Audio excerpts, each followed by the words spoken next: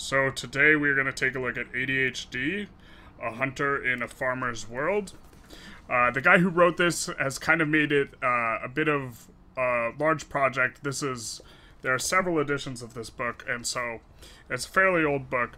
And what this book does, in its overarching uh, thing, is kind of introduce a metaphor or a model for looking at ADHD, where instead of looking at it like a disorder, you're looking at it as being a case of people that are perhaps not well adapted to the type of soup we're swimming in in terms of our civilization.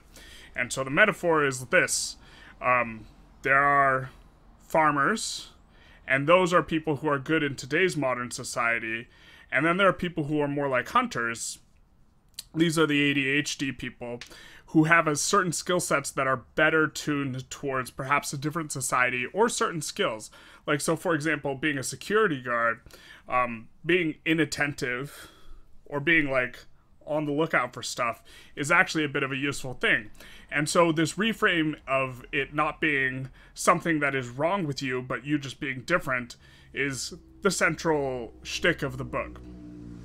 Now, what the author points out in several different areas and in several different ways is that looking at it like a disorder uh, is likely to produce negative effects in terms of people's self esteem or their, you know, uh, ability to kind of think outside the box in terms of how to use it as a like an asset as opposed to just thinking of it as like oh it's this bad thing it's this disorder. Because it is a disorder according to the DSM and so this is a bit of a different way of looking at it which I think is quite empower empowering and powerful.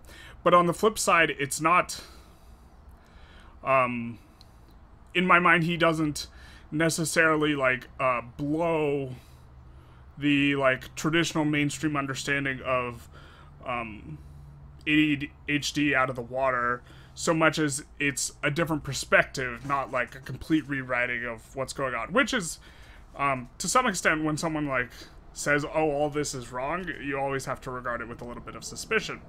Um, there was like one part in it where he talks about multitasking specifically and says ADHD people are just better suited towards multitasking. And I remember reading some like more recent scientific literature on how multitasking basically isn't a thing. It's just like um, trying to do two tasks at once is just uh, not productive was like what this study found um, or like it might have been a collection of studies but more recent research um, seems to counteract that point. And so that that was one thing I noticed when reading, where I was thought maybe his fidelity towards the uh, the information might not be so good. But overall, the author seems to be have a pretty good grasp of the information, and so okay. Um, another point that the author made that I thought was particularly it's a good point to make whenever it's like available, and it's always one that is thought provoking. Is you know you can follow the money. Um, people there's a financial incentive to have everyone think of ADHD as a disorder and one that needs constant medication. And so, um, speaking from experience with ADHD, because uh, uh, I've been medicated for it before, um, you know, this part like resonated with me quite a bit. I've also been medicated for depression, and I think that um, there are when you look at the people who are funding the studies for these disorders, oftentimes they are the companies that the pharmaceutical companies that produce the drugs that you would be on a subscription basis to. And so, you know, when you take an antidepressant and you take it for uh, your entire life, basically, even upping the dose, they make gobs and gobs of money. The same thing when you take, you know, a stimulant for ADHD or whatever Adderall. Um, what did I take? I think I took Concerta. Um, and so it's this thing where if you look at where the money is going and who's funding the studies, you know, um, you can you can wag your finger at a little bit of funny business, um, just in terms of where the financial incentives are. Um, and the financial incentives are to say that you are damaged and there's no workaround and that what you need is medication. It's just a problem in the brain, and we can fix it with some medication, which is, uh, I think this same narrative is pushed with depression quite a bit. Um, you know, there's like a study that shows that only a quarter of the effect of um, the efficacy of antidepressants is the pharmaceutical aspect of the drug itself. I think like half is um, the placebo, and then a quarter is them people just getting better naturally. Um, because when people are depressed, they also tend to often get better naturally. Um, and I know quite a bit more about the the depression like literature on this sort of thing, but I found it uh, particularly striking, and it had not been something I had considered. Which kind of this is the story of the book, um, is that uh, there are perhaps a lot of things that one has not considered in the ADHD like literature, like information like sphere that this book can expose you to quite a bit. It offers up, um, I think, like the first half is roughly uh, talking about the perspective, and then the second half is like, uh, you know, practical applications. Um, okay, I want to talk more about the depression like stuff, but that's like kind of off topic. Um, another point that I found particularly interesting about the book um, was writing, not writing off, explaining a lot of ADHD type of behavior as just, um, you know, a desire to like feel more alive or just a need for more stimulation. And particularly striking was um, talking when they talked about procrastination uh, to me, because uh, if you want to feel the stress of like something being super last minute, uh, procrastination actually becomes like an intelligent looking strategy. And I thought that that was interesting. And another one is overcommitment, which they referenced it there, um, the author. And then uh, another last part is that uh, ADHD, people with ADHD, uh, tend to be a lot more uh, risk taking or risk prone, or they're more willing to take risks. Um, I'm not particularly included in this party, but um, this also makes sense. And again, the author takes point care to frame it as a being different, not being disordered, where there are certain skills or certain jobs where, you know, being inattentive or easily distracted is useful because it allows you to notice stuff better. You know, I, I actually didn't talk too much about the metaphor, and perhaps it's worth unpacking. Like, if you are a hunter, you know, and you go out in the wilderness, having like a head on a swivel and not focusing on anything, one task, is very important so you can notice bunches of different things. So noticing different things is important. And then further, being present in the now and not thinking about the future is also important because you have to rapidly adapt to your surroundings. Whereas you compare this to a farmer, a farmer needs to think ahead because they need to plant the crops now in order to do stuff later. And also, they need to kind of keep their head down and do like one task and stick to it, you know, planting the seeds. It's the same task over and over and over in a line.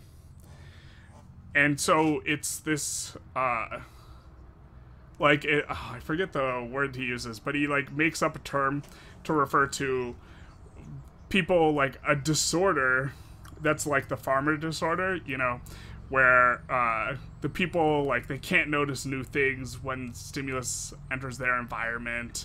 Uh, they struggle to like adapt to quickly to different change. And so um, that's a part of the reframing. Another is like valorizing entrepreneurs who are, um, you know, fit the ADHD profile. Okay. And so, um, yeah, let's get into the ratings. Uh, so for utility, I give it a seven. I think this book is pretty useful if you. Um, so rating the utility of this book is a bit difficult because I think if you don't have ADHD or there's no one around you who has ADHD, that the book is not particularly useful. Um, I think if you do have ADHD, that the book is quite useful. So I scored an overall of a seven, kind of under the assumption that you are not going to get this book if you don't have ADHD or like someone around you. Like you would just never touch it. But being exposed to this perspective, I think, is uh, quite useful. Um, especially, yeah, I really wish I had uh, been exposed to this type of perspective when I was a kid, because I would like uh, beat myself up for a lot of things, uh, and just like uh, I was very easily distracted as a kid. I did not want to do the schoolwork and the busy work that like had been assigned to me and this sort of thing. I wanted to go off and do my own thing. Uh, I read a lot. I studied a lot on my own. Uh, I got good. Well, I did well on tests, but I just didn't do any of the like homework or anything. And so, um, you know, this fits the profile pretty well. And okay, uh, but I wish I had been exposed to it earlier because I think it would have helped a lot with, you know, how I perceive myself. Having this sort of story where it's not necessarily like a mess up, it's just different, and like life might just be a lot different because of um, how I'm different. I use different entirely too many times in that sense. Okay, novelty. So for novelty, I think if you've never been exposed to this perspective, it's actually quite useful. Um, it doesn't really... You maybe can get like a lot of the use of this book, both the utility and the novelty, out of like the first chapter or something like this, where a lot of the rest of the book is kind of like expanding and talking about different things, like stuff that's specific. Like I think there's a chapter on sleep, just like just specifically uh, sleep as it relates to ADHD. So um, there's that. Like a lot of it's probably front loaded in terms of the usefulness of the book. For entertainment, I gave it a 5.5. It's okay. The the the style is a little bit engaging. Okay. Um, that style's a five yeah, uh, Styles of Five. Um, you know, yeah, uh, like they they reference some stuff that's interesting, you know, and like there's a section where he talks about like Steve Jobs and like uh, other what Edison, like other people with ADHD. Um, I guess as like a performative thing, I should just change the subject constantly while doing this review. it's like uh, ADHD thing. Anyways, um, just thinking about that. Uh, so readability, you give it six point five. Pretty easy to cruise through. Um, you know, like I imagine. I think this is either the second or the third edition of this book. I imagine as you do more and more editions, the readability goes up and up considerably. Um, maybe this should score even higher. Uh, I don't perhaps it should have scored higher. And then for interest, I gave it a six. Uh, most of the interest is on the back of like the novelty of this like metaphor of looking at it as ADHD people are not disordered; they're just hunters in a farmer's world.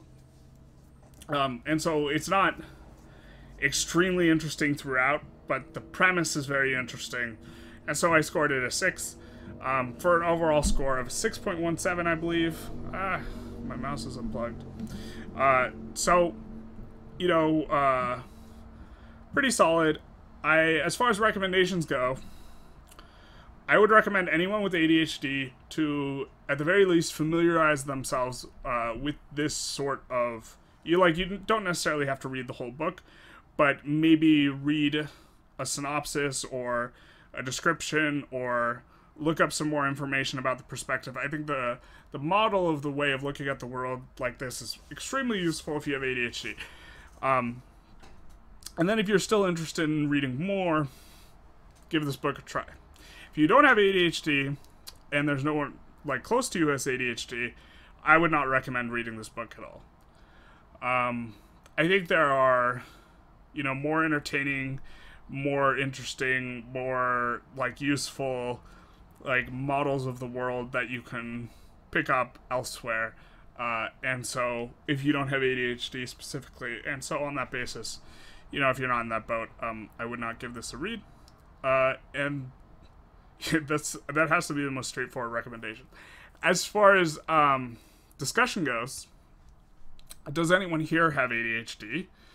And are they familiar with this um, kind of metaphor for looking at things? And do you have any examples of something that having ADHD or being easily distracted at, uh, by makes you better at. All right, have a good one.